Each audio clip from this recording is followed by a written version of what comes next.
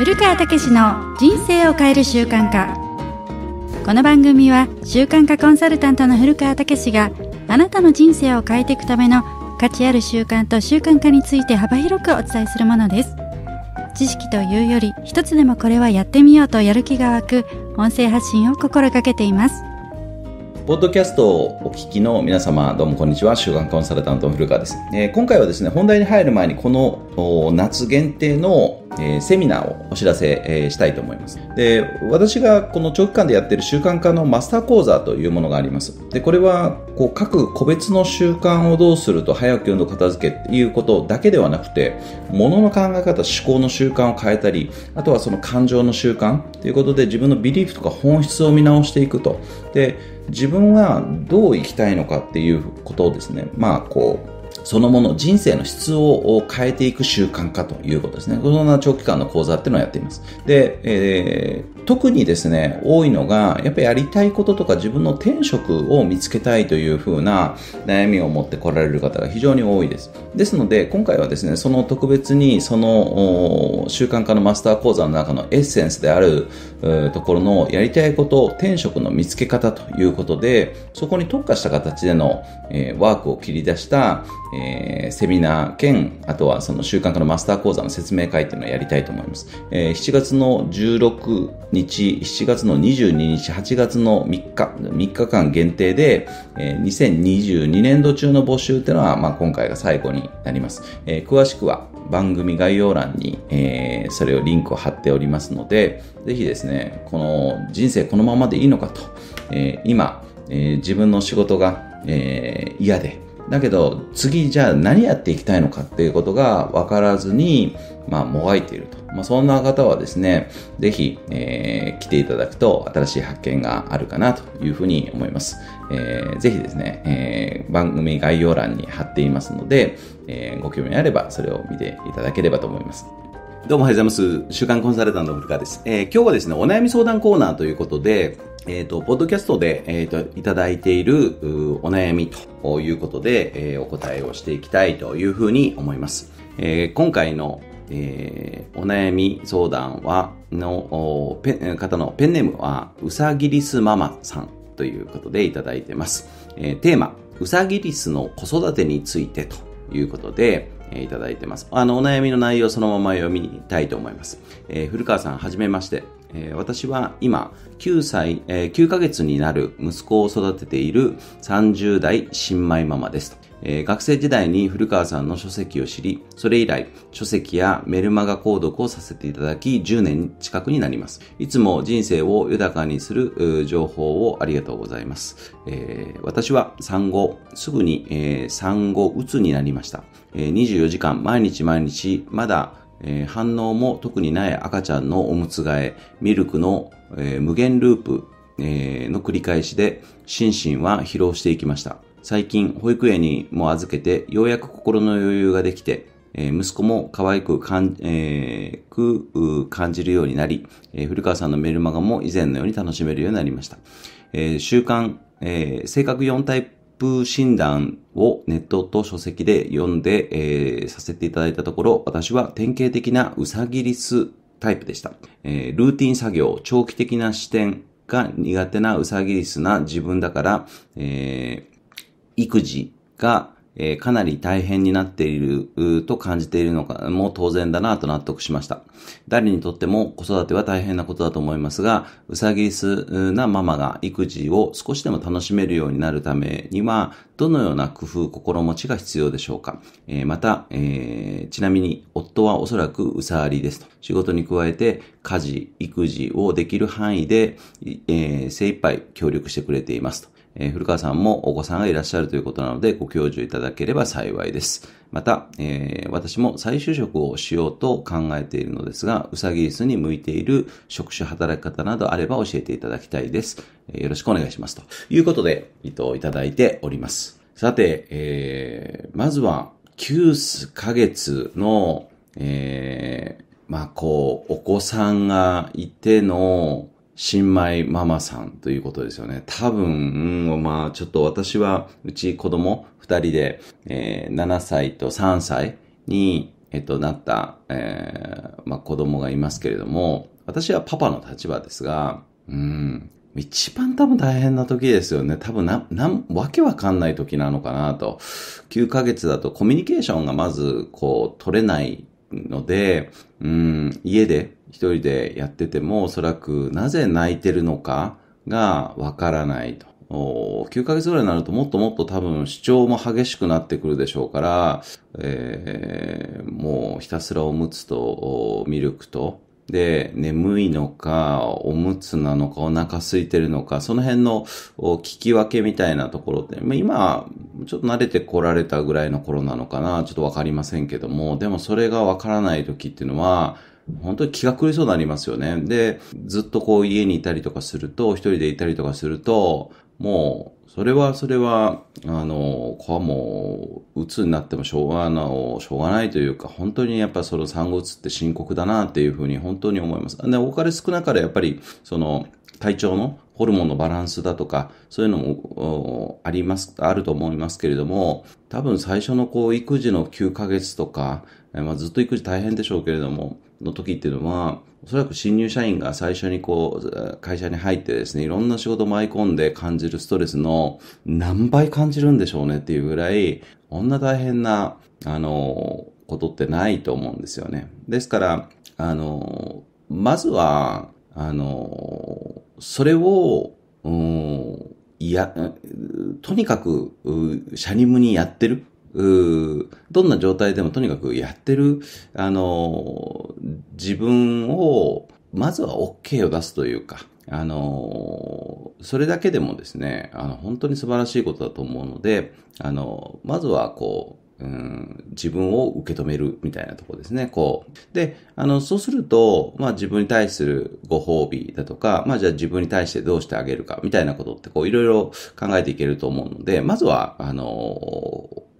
えー、それが、あの、一つかなと思います。で、あの、私からじゃあ二つ、あの、まあ、こう、まあ、今後に向けてということで、おそらく今多分しんどい状況だと思うんで、えー、ちょっと、あの、アドバイスさせていただきたいと思うんですけど、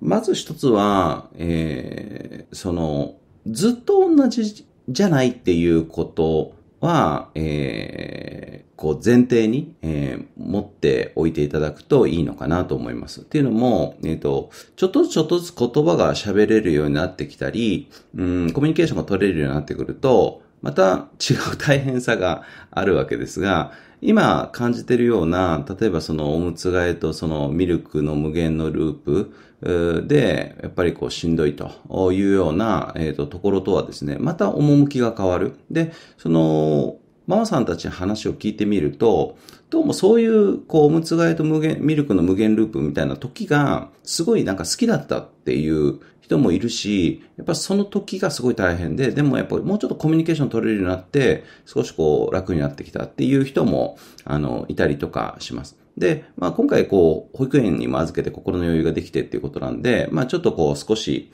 なんでしょうね。こう、距離感と、距離感というか、あの、少し取れる状態になったと思うんです。どんなに可愛い自分の子供であったとしても、こう、24時間自分の完全な時間の自由が、えー、なくなるっていうのは、自分の精神衛生的にも、あの、良くない状態だと思うんですよね。ですから、まあ、それがこう、結果的に育児というものだと思うんですけど、でもその24時間の中で、じゃあ、せめて、あの、寝てる時のおむつ替えは、じゃあ、旦那さんやってもらうとか、あの、少しその、も、えっ、ー、と、家にこう帰ってきた、えー、この間の、えー、まあ、30分ぐらいは少しこう LINE とか、そういうのをこう集中的に返信する時間として、ちょっとその間は旦那さん見といてもらうとか、まさにでも保育園に預けてる時間があるっていうことなんで、その時間をどうしていこうかというところですね。で、そこのクオリティを上げることができたならば、あの、少しこうバランスが取れるんじゃないかなっていうふうに思います。で、おそらくまあ、うさぎリスタイプにとって、その、やらなきゃいけないこと、ルーティーンがですね、ひたすらこう、もう無限に繰り返される日々っていうのは、めちゃくちゃ大変だと思うんで、あの、閉塞感も多分すごいこう感じてらっしゃると思うんですよ。なので、まあ、私から言えることっていうのは、一つは、やっぱりいろんなその同じ子育てをしてるママ、あの、新米ママさんですね。おそらく友達がいると思うんですけど、同じようなうさぎリスタイプの人が、どんな風にその心の余裕を保つために、あの、具体的に何やってるかっていうのを結構聞いたらいいと思います。っていうのも、私がいくらアドバイスをさせていただいたとしても、それはやっぱママじゃないんで、えー、そういう意味では、小さな小さな工夫ですよね。あの、で、朝に静かな時間をとって、余裕を作るっていう人もいれば、やっぱりそれ無理だから、寝かしつけ終わった後に夜に余裕の時間を作るっていう人もいたり、その旦那さんとの役割分担みたいなところで、あの、下の子はちょっとお願いねと、上の子は私がとか、なんかそんな風にして、その、こう面倒見る時間とか、まあ少なくともその土曜日は、ちょっとこう外に出かけて、えー、こう、あの、ショッピングしに行くとか、そういう風な一人になれる時間を作るみたいな形で、あの、旦那さんと調整してるっていう風な、あの、家族とのルールがある人もいたりとかします。で、そこ結構千差万別、人人それぞれなんで、自分スタイルを作るということだと思うんですね。ただ、その、うん、ネタというか、切り口がたくさんあればあるほど、あ、だったら自分こうしようっていうのが見えてくるんじゃないかなと思います。で、まあ、その場合によっては、その、うん、えー、その、お友達ママさんに聞けなかったとしたら、ネットで調べてみてもいいと思うんですね。おそらくその、こう、育児中、うこう、余裕がない、えー、自分を余裕を作るためにはとか、あの、検索すると、あの、たくさんのこうネット記事とか方法論いっぱい出てくると思うんですね。で、あの、とにかく小さくできることは何なのかっていうことですね。まあそういうふうなことを、あの、出しながらですね、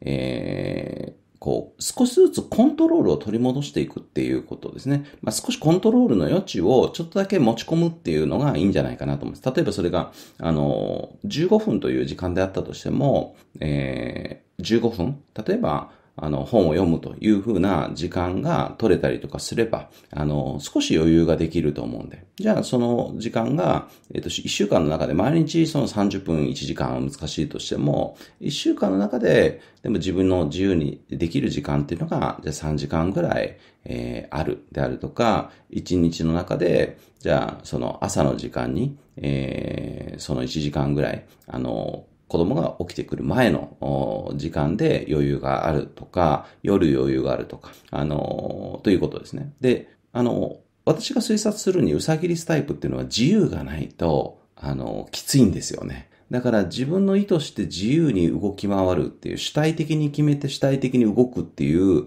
このコントロールとか自由みたいなものは失われてる状態っていうのは精神がこうすごくしんどくなっていくんで、あの、それがすごくポイントなのかなと思います。ですからこう自分が自由になって、コントロールが効くあの、短い時間でいいと思うんですけど、それこそ保育園に預けてる時間、じゃあ、旦那さんに見といてもらえる時間、うん、あの、で、ということですね。で、あともう一つは、あの、その時間の質っていうものをどうしていくかっていうですね。何をすると、より自分が没頭感がある。まあ、つまり、その子育てという日々のことから抜けれるぐらい没頭できるような、あの、ことだと、よりいいと思うんです。それがまあ、LINE の返信とか Facebook の返信ということだけでもいいのかもしれませんけど、あのそうではなくて、まあ、本を読むことなのか、何か、あの、ね、仕事をすることなのか、えー、ちょっとわかりませんけども、あの、頭をカッとこう切り替えることができたならば、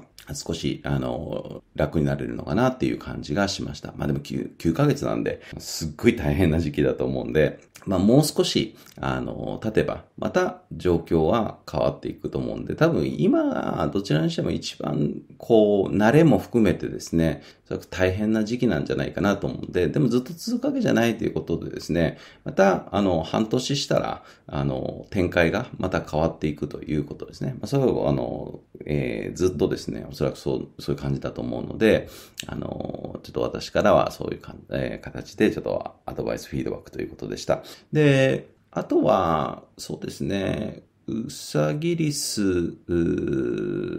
の向いてる仕事ということなんですけど、あの、そうですね。えー、やっぱ企画とか営業職っていうのは、このタイプっていうのは向いてるんですね。で、ですから、ルーティンとか枠組みが決まってるその事務職よりも、あの、人とコミュニケーションを取ったり、何かこう拡大したり、新しいこととか発想を活かして何か次ができるみたいな、そういうふうなことができれば、非常にあの気持ちは乗っていけるんじゃないかなっていうふうに思います。あとは、まあこう、今だと、うん、子育てをしながらリモートワークで働くとか、えー、こう、いろんな働き方の提案がたくさんあると思うんですね。ですから私がお勧めするのは、あの、自分がやっぱりやりたいことって何なのかっていうことですね。こう自分のキャリアとか、うん、これからの働き方について考えてみるっていうのは、すごく同時に価値があるんじゃないかなと思います。うちの習慣化のマスター講座とかでも、あの、本当にこう、9ヶ月とかの赤ちゃん抱っこしながらですね、参加してる人たちってこう、いるんですけど、あの、結局、まあ、女性としてこれから生きていくときに、いや、子供は可愛いと。だから子供、子育てもすると。で、その、結婚をしていると、その母親としての役割をすると。でも、仕事っていうことに対する充足感も絶対に捨てたくないと。で、あの、もちろん時間的には全部均等に割るってわけにいかないわけですけども、ただし、その情熱として、あの、自分のこれからのキャリア、やりたいことっていうことに、えっ、ー、と、って何なんだろうっていうことですね。こう思いっきり向き合って、えっ、ー、と、結果、まあ、最終的には、あの、今までいた会社から、えー、フリーランスみたいな形で、えー、独立した人も何人もいますし、別に独立ばかりがポイントっていうことじゃなくて、うん今の会社でこういう働き方がいいっていうふうに提案してみるとか、そういうこともありだと思うんです。ですから、やっぱり一回ちょっと自分の好きなことって何なんだろうっていうことを、あの、こう、掘り下げてみると。で、それがやれてる時間って没頭できると思うんですね。ですから、これからの子育てっていうのは、まあ、どの道ずっと、あの、やっぱずっとこう、ママとしては、えっ、ー、と、よっぽど手が離れるまでは、やっぱずっとその子育てという時間というもののフォーカスが、やっぱどうしても大きくなると思うんですよね。ですが、それ以外に自分のフォーカスが、自分のそのなん、なんですか、もう一つそのやりたいことっていうか、えっ、ー、と、自分のバランスっていうのをもう一個持てると、フォーカスを変えることができるっていうのは、すごく精神衛生的にいいんじゃないかなっていうふうに思います。そうしないと、やっぱ育児、子育て、こう、家事というものをひたすら愚直に、まあ、やるとしても、それだけでひたすらこうこなせる、うさありタイプ、まあ、もしくはその仮名えー、アリタイプとはちょっと多分ウサギリスだと違うと思うんで、やっぱ変化、刺激、楽しみっていうものを上手に持ち込むと。それがまあ、あの、こう、お友達、ママさんたちとの会話で得られるっていうのであれば、もちろんそれもあの、いいと思いますし、いろんなこう楽しみを小さく見つけていく。でも、やっぱり一番大きいのは結構没頭できるような、あの、自分の好きなこととか熱中できること、なんかこう自分が、えー、例えば何でも構わないと思います。こういう資格を取って、こういうふう、えー、の、海外の人たちとなんかやりたい、やり取りがしたいとか。で、希望をまず作ることはすごく大切だと思うんで、で自分がワクワクすることってじゃあ何なんだろうということですよね。で、うさぎリスに向いてる職業とか職種があるというよりは、このうさぎリスママさんの内側にある感情マグマですよね。もうこれが私はやりたいっていう言えるような、その自分の深い感情にタッチすることが重要で、で、このことに気づけたら、えっ、ー、と、おのずとですね、えっ、ー、と、自分がやりたいこととか、働き方って何なのかっていうことは見えてきます。ただまあ、大まかにうさぎリスということで言えば、ぱ企画とかアイデアみたいなものをこう出して、枠組みを外れてなんかこう、自分で考えてわーってやっていくっていうのは得意と。逆に、決まってる定型のものをこなしていくみたいなことっていうのは、比較的やっぱ苦手っていうことは、あの、一般的には傾向として言えるかなというふうに思います。では、えー、まあ、以上ですけれども、えー、ぜひですね、あの精神衛生的にはあのこの時期は本当大変だと思いますけれどもあのこう子育てとですねあのご自身のケアとですね、えー、同時にしていただきながら、えー、子育て頑張ってください。ということで、えー、今日はこれぐらいにしたいと思います。では今日も一日頑張りましょう。習慣化コンサルティングでは身につけたい習慣の実践率を高めることができる習慣化オンラインサロン。習慣化の実践コーチングができるようになる HRP 講座を開催しております。詳しくは習慣化コンサルティングホームページをご覧ください。番組ページに記載しております。それでは素敵な週末をお過ごしください。最後までお聴きいただきましてありがとうございました。